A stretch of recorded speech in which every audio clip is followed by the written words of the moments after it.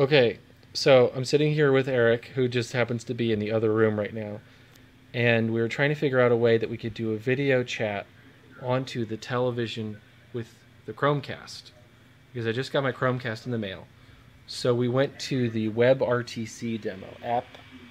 Uh, know if you can see that. It's too bright. Anyway, it's apprtc.appspot.com.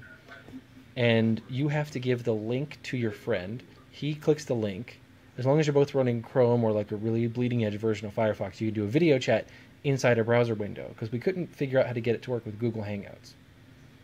But once we got it working in the browser window, then I was able to go up to the little Chromecast button and I was able to say cast this tab and now it's up on the television.